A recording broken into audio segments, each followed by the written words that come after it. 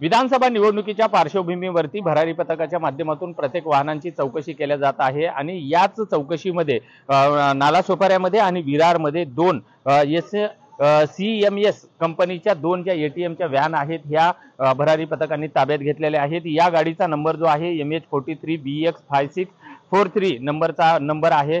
तर विरारमध्ये जी दुसरी गाडी याच कंपनीची ताब्यात घेतलेली आहे तिचा नंबर सुद्धा M H forty three B X five six one three असा नंबर आहे. आणि या व्हॅनमध्ये जो आहे जवळपास साडेतीन करोड रुपये तर विरारच्या मांडवी पोलिसांनी पकडलेल्या गाडीमध्ये दोन कोटी ऐंशी लाख लाख रुपये असे पोलिसांनी ताब्यात घेतलेले आहेत.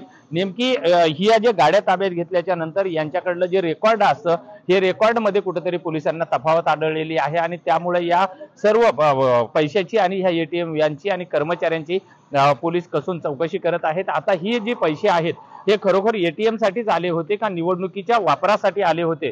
हे मात्र पोलिसांच्या तपासानंतर समोर येणार आहे. Vijay Gaikwad TV nine Marathi Nalasopara.